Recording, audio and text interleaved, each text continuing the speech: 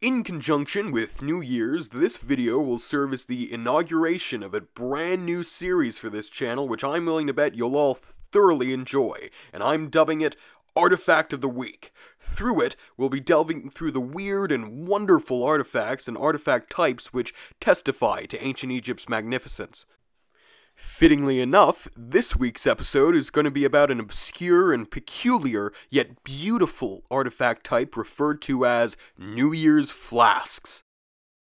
So, what are these New Year's flasks? Well, they're these small, mold made containers in the shape of slightly squashed balls with short necks made out of a glass like material called faience, or more accurately, glazed composition. Oddly enough, most of the sources I used for this video describe them as lenticular or lentoid, i.e. in the shape of a lentil. So if you ever need to describe anything that looks like a lentil but isn't a lentil, you can thank me for teaching you some new words for them. They came in all sorts of colors too, including yellow, turquoise, and green, although after being around for millennia, they've faded a bit. Anyways, these New Year's flasks all share some basic features that vary from piece to piece. Their necks are all shaped like papyrus umbels and end in smooth, concave mouths, but they're decorated with depictions of elaborate bundles of another plant found along the Nile, the lotus. The base of the necks of these things also offer another interesting bit of art handles in the shapes of animals, usually an ape crouching and covering its mouth with its hands. I know some of these look more like amorphous blobs at first glance, but if you look closely at them, you'll see what I'm talking about. In addition, some examples also have handles in the shapes of ibexes, folded papyrus bundles, and flowers. Both sides of the top of the flask's body are usually incised, with multiple concentric registers filled with a variety of geometric designs, including rectangles, triangles, circles, teardrops, and floral motifs. These could represent two things an extravagant wesekh collar, a type of collar worn by actual people, as depicted here, or a kind of vegetal collar, hence the floral motifs, that was also worn by participants in ceremonies and festivals, but was additionally placed onto the neck of jars. Otherwise, the bodies of these flasks seem to mostly be undecorated, but some do bear depictions of various deities. Even the edge bands that separate the two sides of the flask's body are oftentimes decorated with things like chevron patterns, herringbone patterns imitating papyrus basket work, or even inscriptions and hieroglyphs. Speaking of inscriptions, as I'm sure you've noticed by now, these flasks often bear inscriptions arranged in vertical columns, which can be found both on their edge bands and the center of their bodies, which still wish their owners a happy new year millennia after the years for which they were made. The standard formula they all employ in doing this translates to inaugurates a perfect year for its lord, i.e., its owner. But who's doing this inaugurating? Well, this formula is preceded by the name of a deity or deities, which are usually the ones revered in the various regions of Egypt that these flasks come from. For example, the two inscribed New Year's flasks found in the city of Naucratis in the Nile Delta each mention a different locally significant deity Amun Re, the main god worshipped there, and the cat headed fertility goddess Bastet, who was a significant deity in the Delta as a whole. New Year's flasks have been found at sites all across Egypt, and I know for sure that they've been found at the Temple of Karnak and Thebes, at Memphis, in sites in Dakhla Oasis like Ain Manawir and Tell Marqula, and at the aforementioned city of Naucratis, where light yellow flasks were probably manufactured alongside scarabs using lead antimonate. Weirdly enough, New Year's flasks have also been found all over the Mediterranean, including the eastern Aegean, especially in Rhodes, where some flasks might have actually been produced Cyprus, Italy, Carthage, and even Spain. I mean, that's crazy to me. Spain, wow.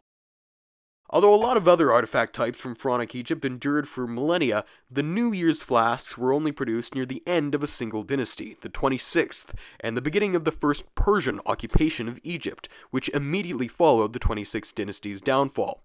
This is reinforced by the fact that the cartouches of only three royals have ever been found on them that of Apries, the third last pharaoh of the 26th dynasty, Amasis, the second last pharaoh of the dynasty, and the princess slash priestess Ankhnesneferibre, who was their contemporary.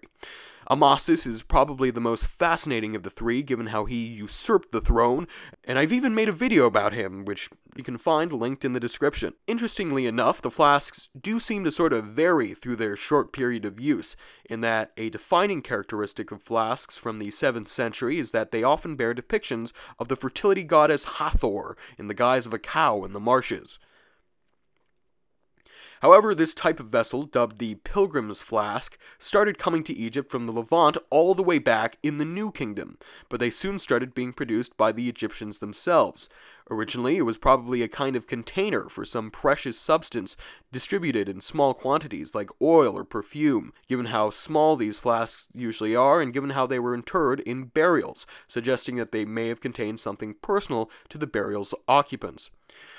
One scholar has suggested that they held some sort of spice meant to be added to wine, given how they're often found with wine amphorae in the Levant. This is supported by the fact that in 2013, some flasks in the Levant were found to have traces of cinnamon, which only came from southern India and Sri Lanka at the time. Believe it or not, this is important to understanding the purpose of these objects, which I'll go through now. You see, these flasks were likely gifts associated with the beginning of a new year. The standard formula I mentioned being written on them even contains a phrase that's been judged to be the equivalent of our Happy New Year, Wepet Renpet Nefert, which translates to Good New Year's Day, which, as we mentioned before, was supposed to be granted by the gods mentioned on them. The ancient Egyptian New Year's took place around July the 19th, right at the beginning of Akhet, the season in which the Nile would flood its banks, rejuvenating the land by depositing extremely fertile black silt onto the fields it flooded, which was the key to Egypt's agricultural success. So it's basically the opposite of our year, but there's a good reason for it. Fittingly, these New Year's flasks are jam packed with things symbolizing renewal. The likely reason baboons are so commonly found adorning the necks of these flasks is that they were seen as symbols of rebirth. That's because they were seen as welcoming the rising sun each morning through their behavior. You see, the sun was believed to die each night and be reborn each morning. The flask's slightly squashed disc shape may also echo the sun disk. Another possible reason behind the baboon's presence is that baboons are a form of the god Thoth, who enjoyed an intimate association with the New Year's in Egypt, given that he was associated with the calculation of time and the renewal of royal power during the New Year's festival. Since they were associated with the yearly renewal of the flood, the flasks were included in burials both within and outside Egypt, as they themselves symbolized the rebirth of the deceased they were buried with. So, what was actually put into these little suckers? Well, we don't actually know uh, exactly what was put in them, but it was probably some sort of perfume, oil, or even water from the Nile. The theory that these flasks were filled with cosmetic liquids is supported by the existence of an unguent made specifically for New Year's, but given the ancient Egyptian New Year's connection with the annual Nile flood, the flasks may have instead carried water from the flood, which was given its own term, and was considered to have regenerating and purifying properties. However, contrary to all this, the only chemical analysis of the contents of one of these flasks I know of found traces of honey of all things, although this may have been a result of the flask being reused at some point. So that's definitely something to keep wondering about. So that about wraps up our discussion of New Year's flasks. I hope you all have a happy New Year's, and stay tuned for more fascinating content about the ancient world's most fascinating civilization. See ya!